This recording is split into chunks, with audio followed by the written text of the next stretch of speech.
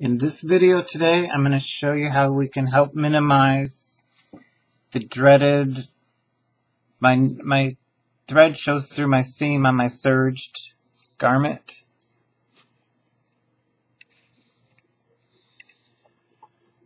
What I have is my machine set up for a three state, three thread serge, one needle, and two loopers. I have it set at the default settings. I'm going to do a fresh seam here.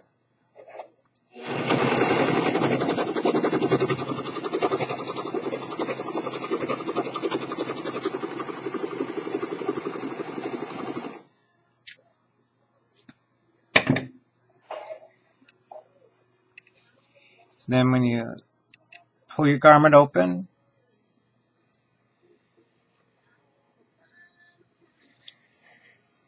you pull it, you'll see your threads a little bit. What you could do to help minimize that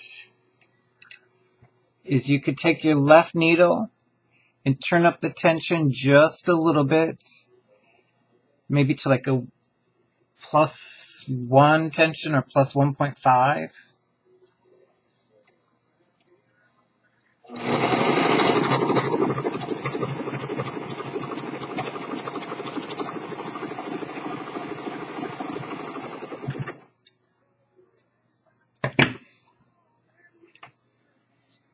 and that'll even limit it a little bit more for your thread showing. I'm using white thread on black. If you look at the garment you're probably wearing now, if it's got a serge, look at the inside, you'll notice that the thread matches the fabric. Not just kind of matches the fabric. Usually in factory made stuff, the thread matches exactly the fabric. Sometimes they even match the, the fabric content of the garment to the fabric content of the needles, of the loopers in the needle to minimize that. Now this is white thread. You can see it still see a little bit through there. What I'm going to do is just change the needle thread, my machine.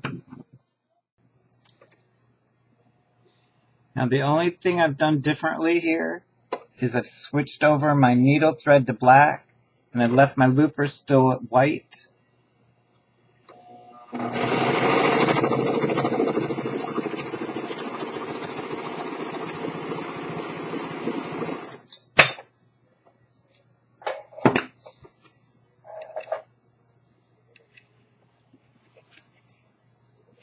Now just matching up the thread virtually eliminated any of the threads from showing. There's still a little bit of white because a little bit of the looper threads are there. So just matching the left needle will minimize your thread showing. And your best thing obviously is to use matching comb, matching looper threads. And you're probably thinking, oh, I don't want to buy four or five cones of thread. What I do is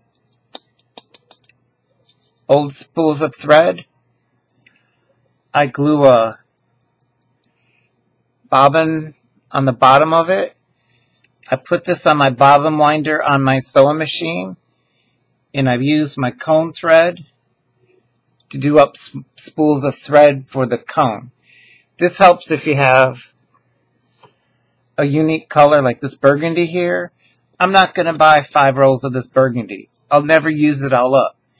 I use one roll, one spool, and I make either two loopers or two loopers and needles. So I make four cones of this four little spools, and I use this as my needle thread.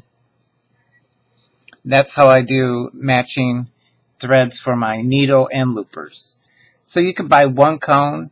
We all have extra spools and we all have ex extra bobbins. You can order these on eBay, 20 of them for like two bucks. Doesn't even have to match your machine. Just get the cheapest ones you can because you're going to glue them on here and just put them on your bobbin winder. You're not going to put these in your sewing machine. That's how I do matching needle and loopers. I make these up.